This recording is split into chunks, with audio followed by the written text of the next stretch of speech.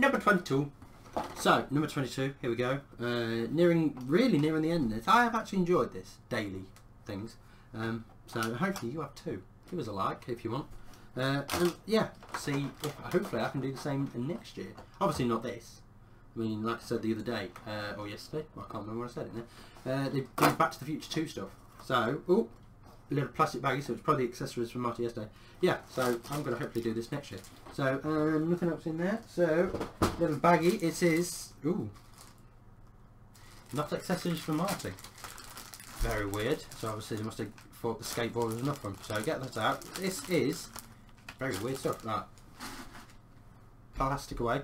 Right then, so today we've got that, whatever that is, look like something somebody can hold, some string, which I can kind of think, looking at this last bit, I kind of think I know where this is going. I'm guessing that's lightning.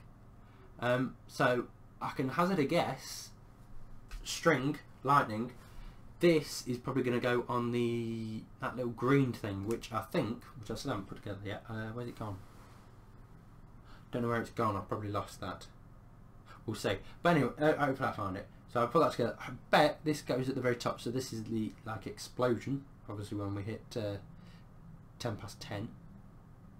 No, 10 past 10. Mm, call myself a fan. 8 minutes past 10. Uh, and this is the string that Doc flies down.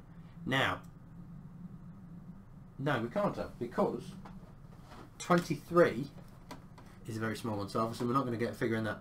24, no, because of the past ones, like I've said before, that's probably not going to be. But I'm kind of thinking that one of those, because we got string and lightning, and the only Doc figure we got was the one in the hazmat suit.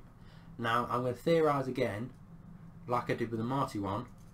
Um, I think we're going to get another Doc. So that's three Martys and two Docs. Maybe. We'll see. We don't know. We might not. Um, but it'd be kind of weird if we don't because he didn't fly down dressed like that in the film. But like I say, we'll find out. So those are the little bits for today. Find out tomorrow. See you then.